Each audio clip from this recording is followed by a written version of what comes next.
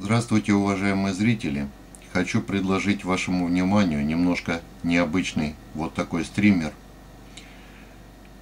для поимки окуня, но этим стримером в зависимости от величины не брезает, не брезует и плотва с красноперкой.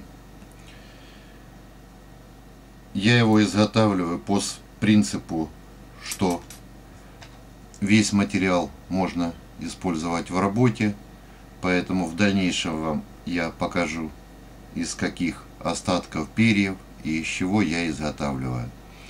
Повторю, в зависимости от величины крючка можно ловить практически любую мерную рыбу. Приступим к вязанию. Крючок я беру восьмой или десятый номер – и немножечко подготавливая его для себя. Подогнем сперва чуть-чуть колечко.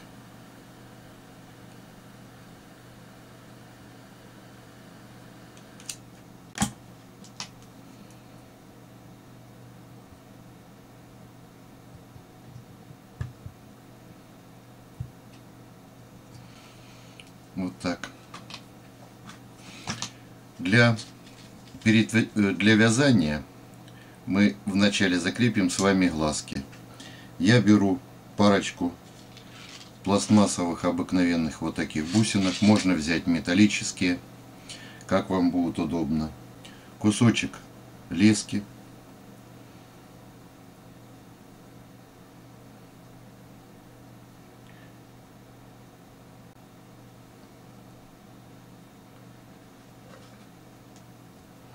делаю вот такую конструкцию и формирую первый шарик.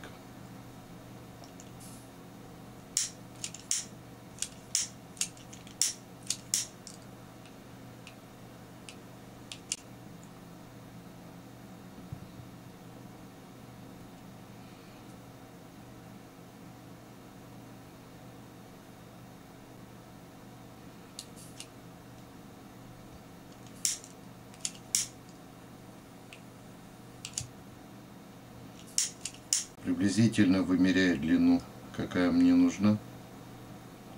Остатки лески откусываю.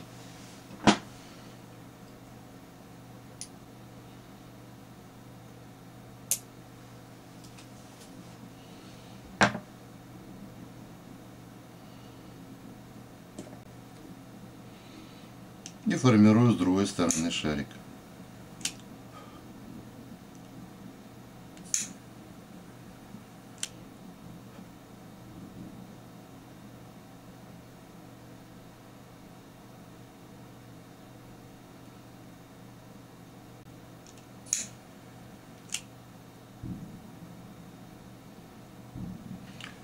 Вот у меня вышли такие глазки для нашего стримера.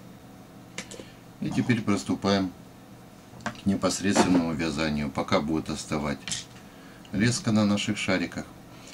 Я подготовил просто остатки перьев пуховых, обыкновенных куриных, какие вот у меня остались. И из этого материала мы будем с вами изготавливать стример. Вроде бы материал не совсем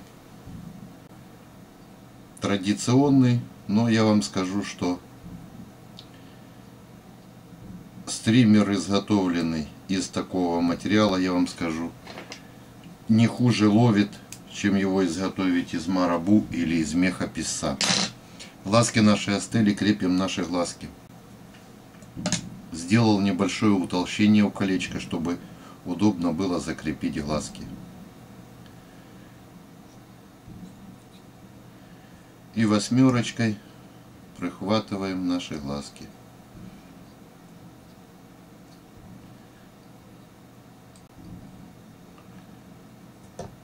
Проверили, как сидят. Вот выходит такая конструкция.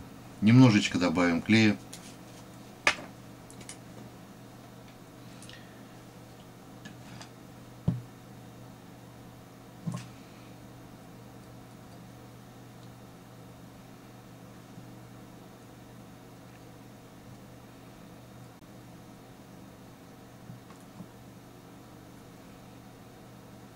И пока будем вязать, наши глазки успеют прихватиться.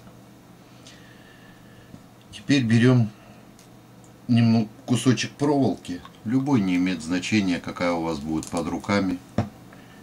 Для закрепления тела потому что как таковой красивой сегментации у нас не выйдет из-за пухового тела. Крепим ее.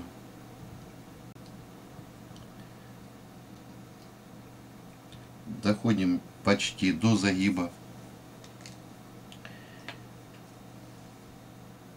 Промажем немножечко все клеем.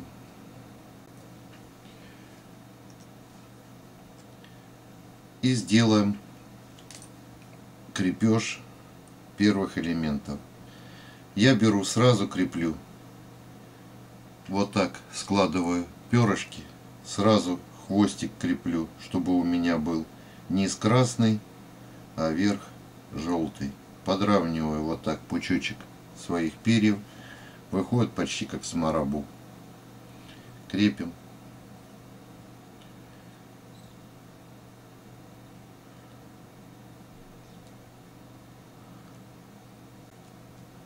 Вот вышел такой хвостик. Красный мы удаляем.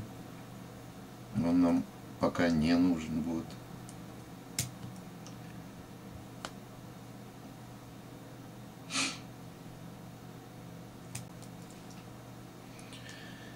И, и так как у меня перо вышло половинчатое, я не буду ничего отрывать, мне вполне достаточно этого пера я начинаю делать обмоточку по телу пером.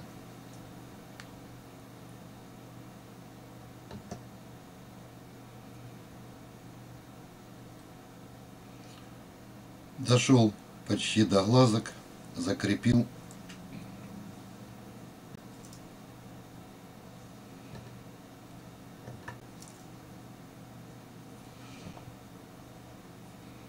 Кость отрезал.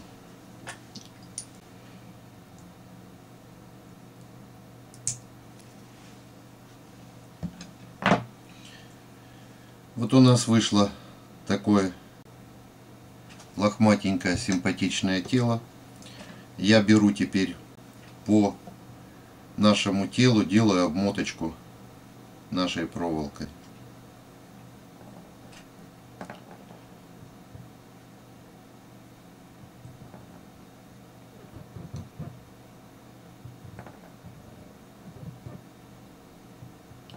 Если бородки подминаются не страшно, все равно через пару-тройку поклевок они у нас все почти потеряются. И останется одно у нас лохматенькое тело. Откусили проволоку. Для завершения мушки я возьму немножко даббинга.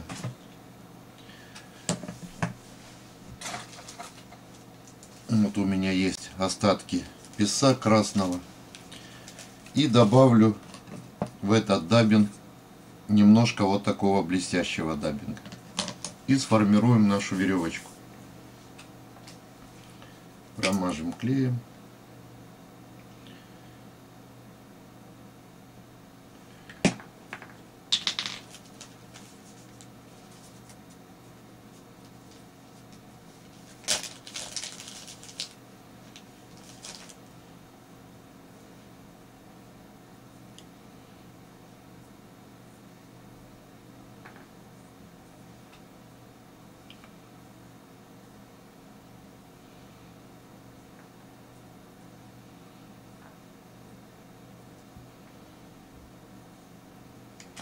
И добавим немножко нашего оранжевого даббинга цвета возьмем.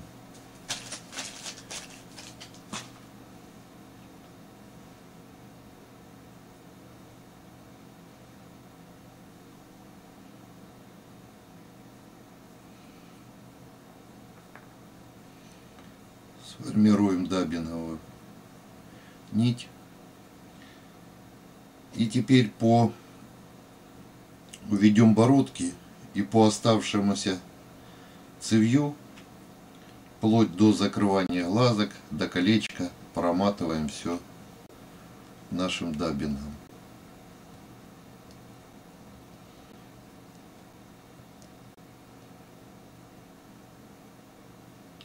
Между глазок до колечка.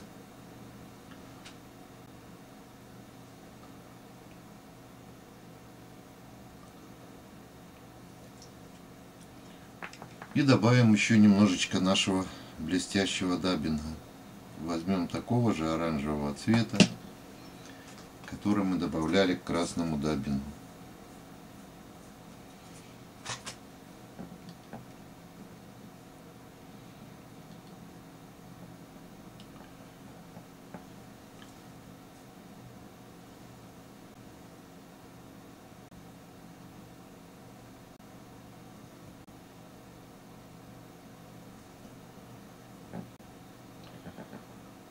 И у колечка делаем завершающий узел. Немножко подкрасим нить черный цвет.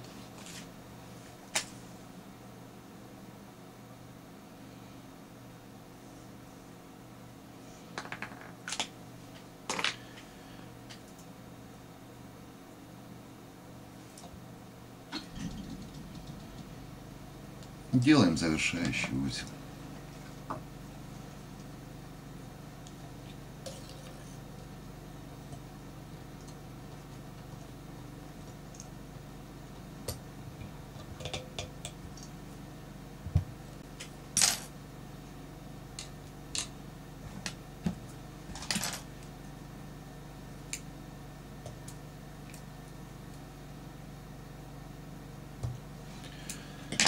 На место крепления я нанесу немножко клея. Можно лака.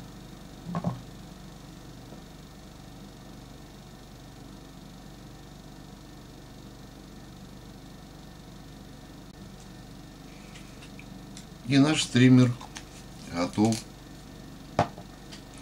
Как вы видите, процесс вязания не занимает много времени но уловистость его просто большая, очень большая. Результативность поклевок, вы убедитесь сами, очень высока.